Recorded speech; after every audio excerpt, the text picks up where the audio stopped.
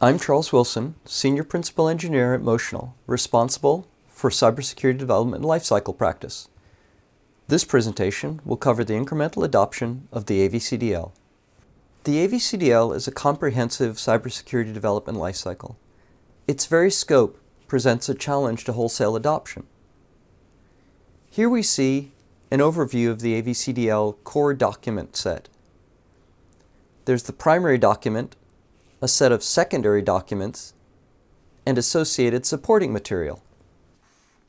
If we look a little deeper, that supporting material extends into blog posts, elaboration documents, supply chain materials, templates to go along with the supply chain materials, and tracking documents used in the creation of the AVCDL itself. Basically, it's everything that you need in order to do product cybersecurity. Now, this is a good thing if you have a relatively mature organization with respect to cybersecurity, because you'll use the AVCDL to determine what edge cases you're not covering. If, on the other hand, your organization has no cybersecurity group within it in the past, or has a severely limited number of activities which are done in cybersecurity, then the AVCDL presents an overwhelming challenge.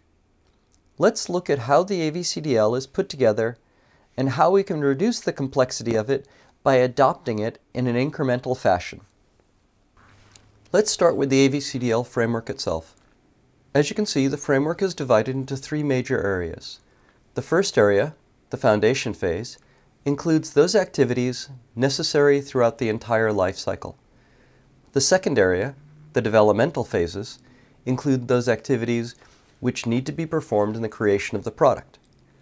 The third and final area, the post-developmental phases, include those activities performed once the product has been released. Now let's look at each of these in turn. The foundation phase activities are broad in scope and highly impactful in that once these activities are in place, they're applied throughout the lifetime of every project. Because of this, these activities need to be given special attention. They will have ripple effects both within a particular product's development and also across entire families of products to which they're applied. Arguably, the developmental phase activities are the most flexible in terms of how and when they're implemented. This is because these activities are the most tactical. Many of them can be implemented in isolation. The exception are the gates, as they're used to synchronize various activities and groups within the organization. That being said, the gates are intended to be very light touch activities, and in general, gate management is the responsibility of project management, not cybersecurity.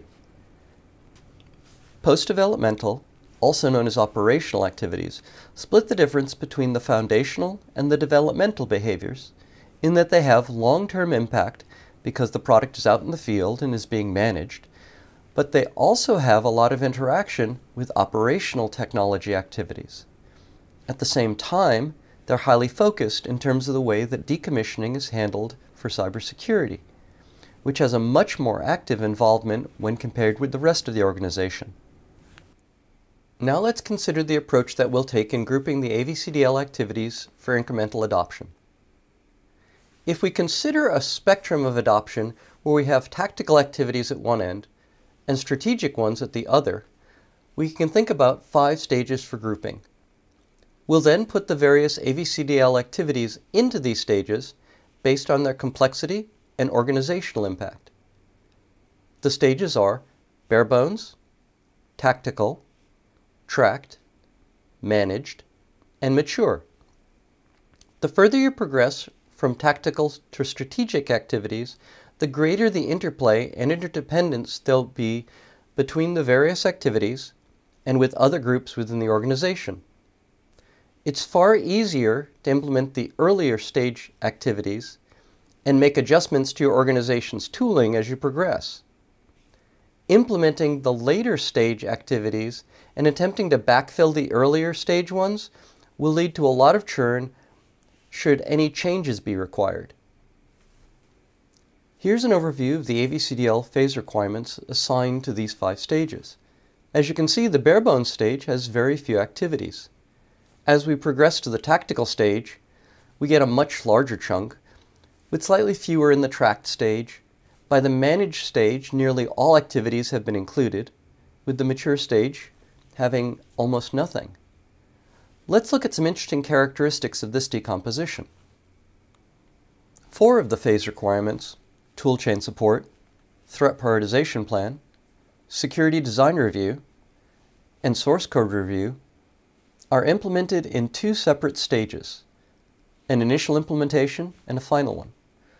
This is because of their interplay with other activities within the AVCDL, as well as with the greater organizational interaction required by their implementation. In the case of the Security Design Review and the Source Code Review, they'll be fully implemented in the tracked stage, whereas the toolchain support and threat prioritization plan won't be fully implemented until the managed stage. Additionally, the safety-related phase requirements have been grouped together because of their tight coupling. Now let's look at each of the implementation stages and what they entail. The barebones stage activities require the least from the development teams. These are activities that can be undertaken by cybersecurity SMEs in conjunction with DevOps. They represent the lowest hanging fruit. All of them are developmental in nature. Configuring the secure build, secure settings, deprecation of unsafe functions, and static analysis are all things which are typically already in place in the build process. What we're trying to achieve is the application of cybersecurity relevant settings in all of these areas in order to enhance what would otherwise be no security whatsoever. The tactical stage is focused on the secure and correct implementation of the system. All three areas of the AVCDL are addressed. There's now interaction with development and operations teams, with more interaction with the DevOps team. As noted earlier, there are several activities in the stage which are preliminary. These activities don't need to be implemented as formally at this point as the others. They're included because they're needed to support the other activities in this stage. Additionally, we have activities which are included because they're relevant to the interaction between cybersecurity and safety. The tactical stage is concentrated in the implementation phase, with some activities from the foundation and operations phases being included. The tracked stage is focused on the secure design of the system. In this stage, the activities of the requirements and design phases of the AVCDL are addressed. This requires far more coordination with the systems engineering and development teams early on in the creation of the system. Additionally, we're picking up more elements from the foundation phase, specifically in the areas of requirements and deployment. The managed stage is focused on the management of the end-to-end -end life of the system. In this stage, the interaction between cybersecurity and project management is emphasized, as seen here by the inclusion of the five gates within the developmental phases. We also pick up the threat model review, the attack surface analysis review, and the final review. Additionally, we look at the decommissioning processes, and we finish out the toolchain support and the threat prioritization plan. In our last stage, the mature stage, we're focusing on the long-term support of the system. Specifically, attention is given to training and ownership activities. One could argue that the roles and responsibilities need to be established ahead of time before anything else happens.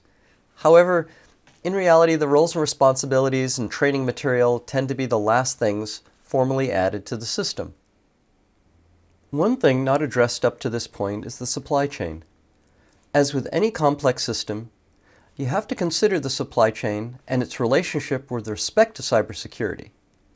Within the AVCDL, there are three activities called out.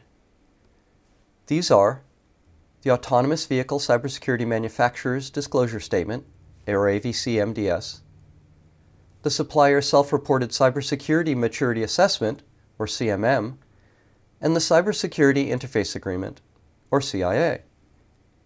It's really unlikely that any two organizations will have the same level of maturity with respect to their processes. And doing these three activities is critical to the success of a project regardless of the relative maturity of the two organizations. This is because by undertaking these activities, you'll be able to align the cybersecurity activities of both the supplier and the customer, and also identify the gaps that exist between the two organizations. If you have suppliers or you are a supplier, you should undertake to complete this information. Regardless of where you're starting from, it's important to evaluate what your own organization's maturity is and to keep track of it as you progress through the evolution of your organization's maturity. For that, we can use the Supplier Cybersecurity Maturity Assessment. Simply perform the assessment on your own organization. To track progress over time, the AVCDL provides an Excel spreadsheet with a spider plot of all the AVCDL phase requirements. This can be used to generate a time series chart like the one seen here. In summary, remember that although the cybersecurity lifecycle is really large and fairly complex, the problem is still tractable. You should start by doing a cybersecurity maturity self-assessment to find out where you're starting from. Remember to consider the supply chain. And finally, track the progress you're making as you go. This last point is helpful both from an internal standpoint and also because one of the aspects of cybersecurity for things like ISO SAE 21434 or UN R155 is that you should be making ongoing progress in your product cybersecurity posture. All AVCDL materials, both in source and distribution forms, are available on our GitHub site, as shown here. Because of the size of the repository, it's recommended that you either clone the repository or download a zip archive of it if you're not familiar with using Git. Instructions for downloading a zip archive are linked to on the repository's front page. Here are the references to the source material used in the creation of this presentation. They'll also be included in the video description. Additionally, this presentation's source material will be provided on the AVCDL Git repository.